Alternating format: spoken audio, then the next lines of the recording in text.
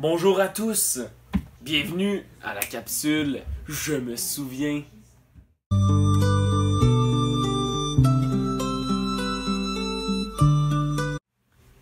Aujourd'hui, on va vous parler du clérico-nationalisme québécois à travers le 20e siècle.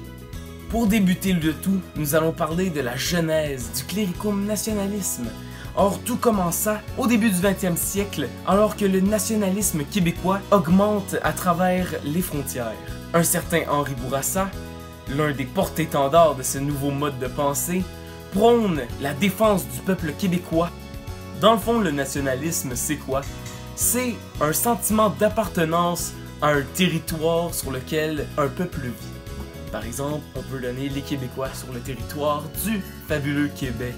En effet, Zachary, dans le cas du clérico-nationalisme, c'est exactement le nationalisme, sauf qu'on ajoute clérico, qui signifie le clergé. Le clergé va donc servir de guide au nationalisme. Le clérico-nationalisme va surtout prôner un mode de vie rural, soit un mode de vie très loin de l'industrialisation et donc de l'urbanisation qui touche les très grandes villes comme Montréal. Le clérico-nationalisme va défendre également l'agriculture parce que c'est très étroitement lié au mode de vie rural du début du 20e siècle. Le clérico-nationalisme va également soutenir plusieurs valeurs traditionnelles, par exemple la famille ou la religion. Parlons-en de la religion. Alors la religion, dans le fond, quand on a le mot clergé, dans un concept quelconque, c'est sûr que la religion aura une part importante de tout cela. Alors, dans le fond, les clérico-nationalistes sont guidés par Dieu et ses conseils dans la vie de tous les jours.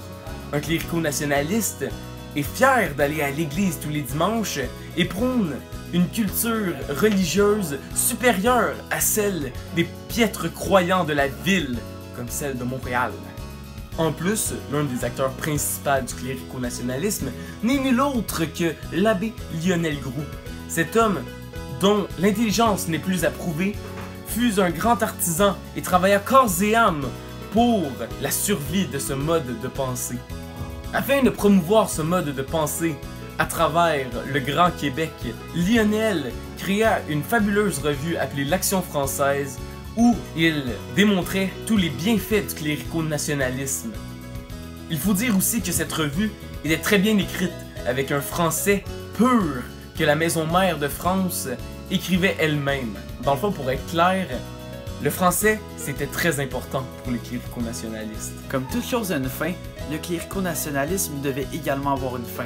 Dans ce cas-ci, c'est à la fin de la grande noirceur causée par Duplessis. Le clérico-nationalisme est directement tombé en déclin dans cette période parce que Duplessis était en fait un allié naturel du clergé, ce qui faisait que lors de son départ, ça a également causé euh, le départ du clérico-nationalisme, étant donné que c'est directement lié au clergé. Pour conclure le tout, on peut dire clairement que le clérico-nationalisme était un grand mouvement de pensée au Québec durant le 20e siècle.